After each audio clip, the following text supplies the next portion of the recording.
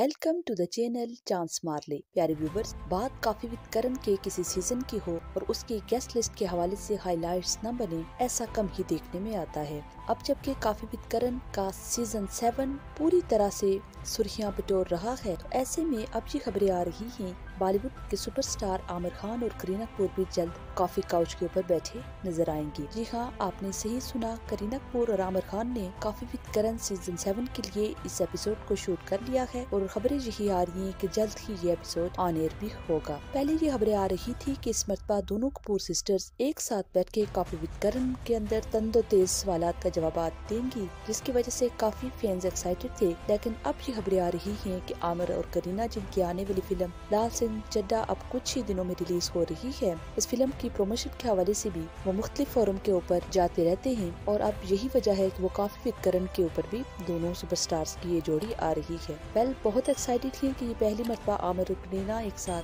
काफ़ी विद करण में अपेयर हो रही है और उम्मीद है शाकिन को की ये एपिसोड फुला फन और मस्ती ऐसी भरपूर होगी। वेल इस हवाले ऐसी आपकी क्या राय है? आप कमेंट में अपनी राय ऐसी आगाह कर सकते हैं। मिलते हैं किसी और वीडियो में। तब तक के लिए अल्लाह हाफिज।